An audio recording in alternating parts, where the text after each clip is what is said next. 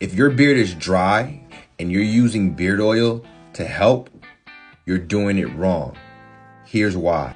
Beard oil is a sealant. It's there to seal in the moisture. It's not there to add moisture to your beard. So if you're adding beard oil as to add moisture to your beard, what you're doing is trapping in dryness. This is what you need to do for moisture in the beard. You need a water-based beard hydrator. It's a leave-in that's going to add moisture in the beard so your beard is soft and that way you can impress your friends and girls. Okay?